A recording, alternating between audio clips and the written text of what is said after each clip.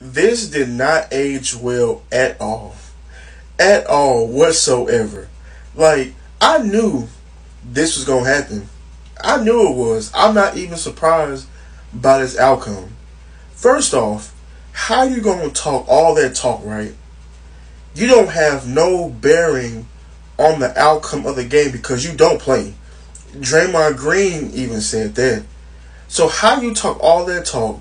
I commend you for wearing the shirt, but y'all get blew out by 23 points.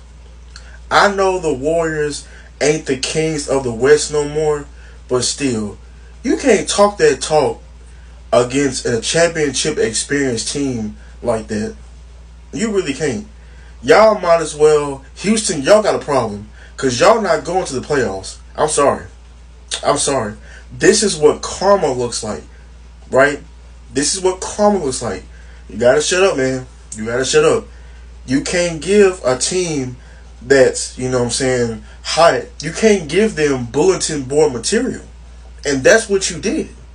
You gave them bulletin board material and y'all got blew out the water. Yeah, man. Just learn to be quiet. Especially if you ain't no player. I can see if Dillon Brooks said that because he's known for doing it. But you, what Kevin Hart said, you a non-factor. you a non-factor, homie. So, uh-uh, man. I knew this gonna happen. I knew it.